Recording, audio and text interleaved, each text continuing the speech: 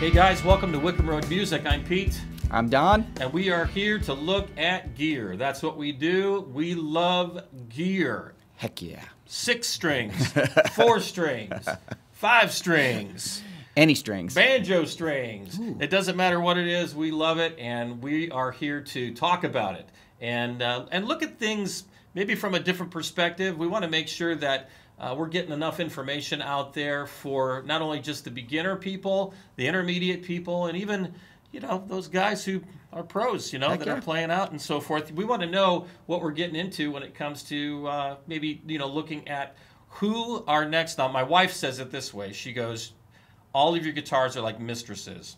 She's the one who said that. So, men, when you're going to buy your next mistress, okay, or ladies too, That's you right. can buy your guitars as well. What do you call a?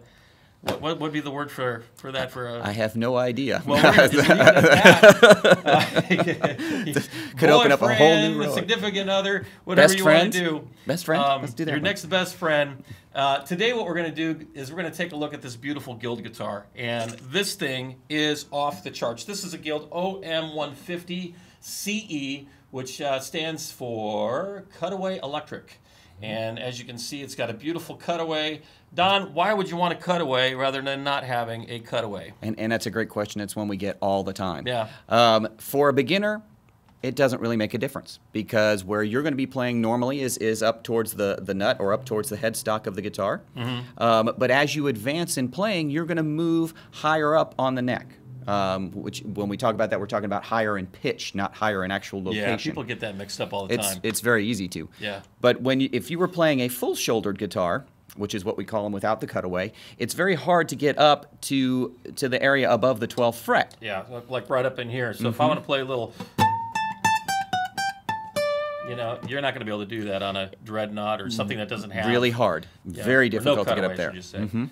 So, so all right. So this is a cutaway, and uh, so it's great for those guys, gals who are going to be interested in maybe doing a little soloing or high. Absolutely. chording or whatever it is that they decide to do. So um, we have the Westerly collection. That is what this is called, and um, it's just a high end. Yes, it is. It's the high end area of the Guild guitar. And um, this is an orchestral body. Mm-hmm. And the orchestral body is really what I like about it is that it's like really quite like narrow, Mm-hmm. you know, in terms of against your body. But why would we want that, Don? Why would we want something like this or, that shape? what you, when you talk about guitar shapes, you, you talk about uh, you know size matters. Um, dreadnoughts and jumbos are going to give you a bigger, rounder, fuller sound, something that's going to going to power through if you're in uh, doing big chords with a band or something like that. Yeah. Um, the orchestra size lends itself more towards a solo guitar, lends itself more towards finger picking, in my opinion. Um, you know, with the, with the size, banging out big fat chords, maybe not so much with an orchestra. Okay. it- you, you've got to be really cautious that you don't overpower the size of the guitar. Yeah. So it's just you know one of those things to think about. I, I love them. I think they're they're awesome. Mm-hmm. Um, I like the fact that their hips are a little bit or a little bit bigger.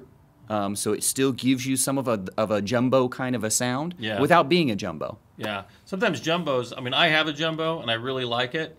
Uh, but one of the things that I noticed about jumbo guitars is they're fantastic when you're playing them by themselves or like, you know, the orchestra with six strings. Yep. Really, it really is. I mean, it's just really beautiful. But the minute you start playing with a band, that's when I run mm-hmm. into some issues. And you, you would think, well, come on, how, you know, you should, with that big guitar, you shouldn't have any issue at all. But it's just not, it doesn't cut through. So what I have to do with my guitar is I have to EQ it. I have to take some mm-hmm. special attention and EQ it properly to get Right. it right. But with this type of a guitar, it's just like right out of the gate, it's already cutting right through. You can hear the tone, you know, it's not getting overly muffled in terms Yep. of the bass tones and stuff. It Sounds really, really good. Wow, listen to that, man. So let's take a look here. We have the headstock, and the headstock is actually a rosewood laminate up here. Okay, and uh, we've got I think they call this what the Chester Chesterfield. Chesterfield. Yeah, the Chesterfield logo. Pretty cool. Iconic. I think he's amazed that I knew that. I, I am a little surprised. I think he's amazed, I- so- he he did his homework. That's good. And then we also have um, Indian rosewood. Now, this whole axe, this whole thing, when we say the word axe, that's the cool way of calling your guitar. This axe is uh, all the rosewood is Indian rosewood, and uh, Indian rosewood has got a tone about it that is just pleasant, and it's got a look about it. It looks like a million dollars. I mean, I mean, and I've seen a million dollars, a stack of it, and I've seen rosewood, and I picked rosewood over the million dollars. I think it was a good call. Yeah, totally good call. absolutely. I mean, that's how cool it looks. It's just beautiful. If you look at the back here, and this is all solid, you guys. There's no laminate on this guitar at all. And uh, Don, you want to share what laminate is for those who are like confused about that? so when we you, you start when you start talking about laminate, you usually start with the top of the guitar. Um, more of the entry level priced guitars um, for for folks that are just starting have the laminate tops. And what, when we say laminate, what we're talking about is is a lot of layers, usually very thin layers of wood glued together Yeah. to make kind of like plywood to make uh, to make a, a top of a guitar, or in a lot of cases the back and sides of the guitar as well. Uh, this obviously is not. Uh, solid, the truth is, solid is always better. Um, although some laminates sound pretty good, the truth is, solid is always better. Uh, it's just going to give you that fuller, richer, rounder, warm sound that you're looking for from a guitar. Um, it just sounds better. And not only are you buying a piece of art, but you're also buying a guitar that's going to withstand the test of time. And what you have to consider when you're buying a guitar is okay, a solid top, back and sides is going to cost you more. Absolutely. You know, I mean, so where, where does this guitar fall? This guitar is just under $1,100. Yeah. But so- it does come with a featherlight case. Cool. Um, so it's it's ready to go out the door. Um, but it's a lifetime guitar. This is not a guitar that you're gonna you know outgrow. Yeah. You're gonna you're gonna have this guitar for the rest of your life. What people don't realize is that the wood, you know, is aged before it's created. But once it's been created, once the instrument's been made, what's going to happen is that time is going to work in your behalf as an owner. And as the guitar ages, you're going to see the tone of the guitar begin to resonate even more. You're going to see uh, the richness and you know uh, overtones that are going to come out of the instrument that you didn't hear before. So it's going to be like Christmas morning every year with your instrument because it gets better and better and better with age. Now, when you're dealing with laminate, though, unfortunately, guys, glue doesn't age. In fact, glue doesn't age well at all. And so what we have to realize is that there are certain laminates that they will sustain, they will they will hang on. But when you're talking about paying this kind of money for an instrument, as Don said, it's a lifetime guitar. You want something that's going to get better with age, and you're guaranteed that with a guitar that's like this, isn't Absolutely. it? It's just Absolutely. really gorgeous. Okay, so we can continue on. This has got the vintage tuners, and so it's kind of interesting. You've got like exposed gearing. The other type of tuner that many times you'll see is what we call a precision tuner, and that's completely enclosed and uh, and lubricated. Uh, but I think what they wanted to do with this guitar, I mean, there is sort of a, a there's a you know with the vintage element, it's got a look. You know what I does. mean? It's got an It does. interesting look about it. It, it feels kind of like old school. You know what I mean? And uh, they wanted to add that to this instrument because it is a piece of art, man. It is. You know, it's like the the old school style. And then what we have too is let's see, that neck is made out of a beautiful prime mahogany. And if you can take a look at that, um, mahogany is a very hard wood, but this is just it's mesmerizing.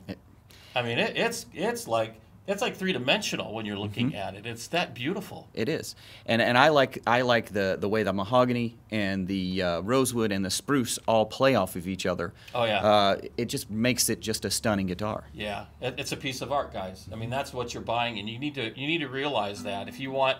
Um, but what do they say? Uh, you know, I mean, guitars are meant to be played, right? Uh, I mean, you That's Guild's tagline. These guitars are meant to be played, Right, And, and- so- and they are. So yes, take care of it, but at the same time, they you know they're they're meant to dig in and have some fun with them. Mm-hmm. So beautiful. So again, East Indian rosewood. We're looking at. Uh, not I, I'm not too sure if it's East Indian, but I know it's Indian rosewood. I know. Right, I think I blew yeah, that because definitely. my guitar has that. One of my guitars has that. But Indian rosewood. What we're looking at on the fretboard. Obviously, we see it here at the bridge. We're seeing this laminate at the top, which is really cool. And the top is a Sitka spruce, and it's a beautiful book match. If you take a look at this, you can actually probably see it uh, even with the camera, and you're going to see there's on guitars.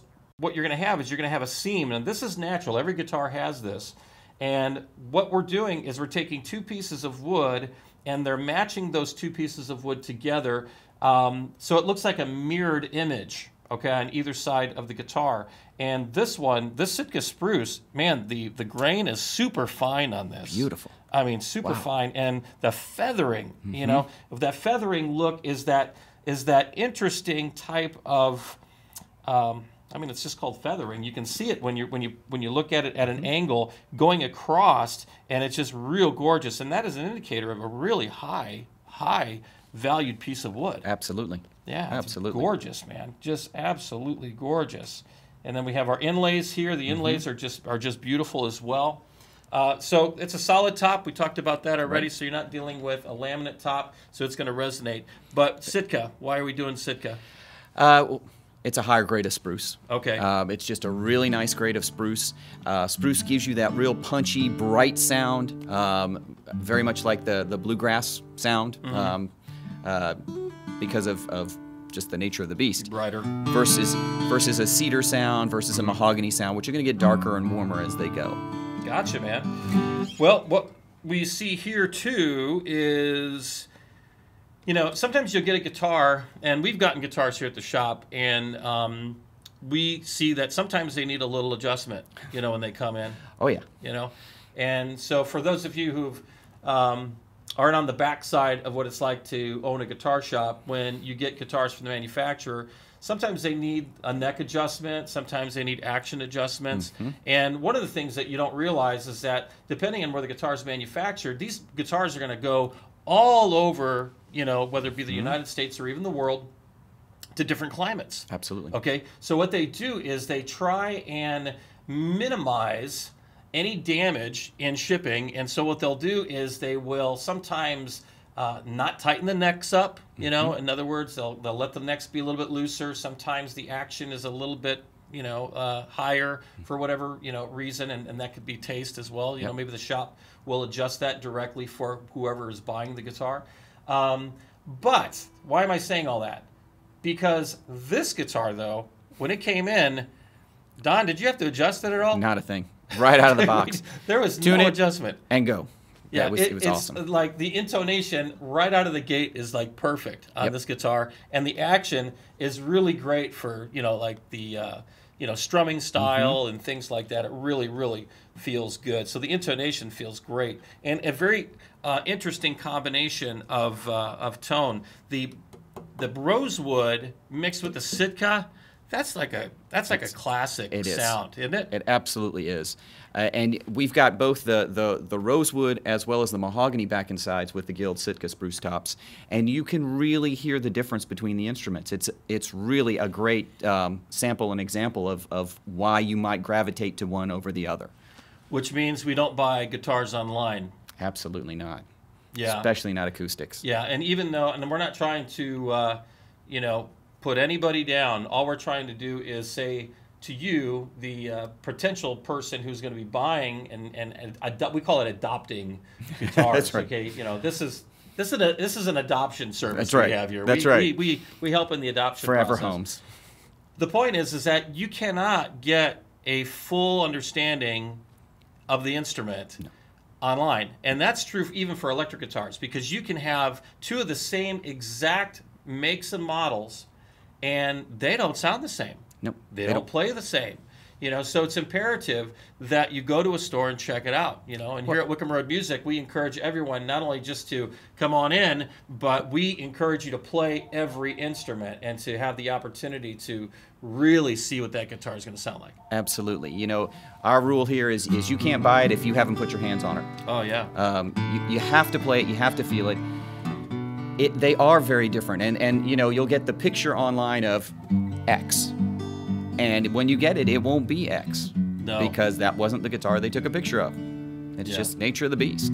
So you need to get out there. You need to, you know, come to the, sh- you know, come to the shop and check out, uh, you know, what is on the wall. We've got a massive guitar wall here that is filled with beautiful guitars, and uh, you know, you can definitely A B those guitars. And the other thing is too, is I'm sitting here, I'm kind of finger picking this thing. Let me just kind of give it a little go here, and then I'm going to have you do a little strumming because Okay. we want to hear what it sounds like. So.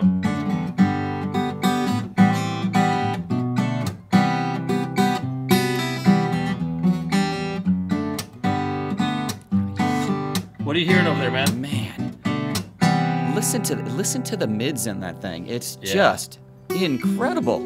Y- y- It's just such a nice balanced sound. Wow.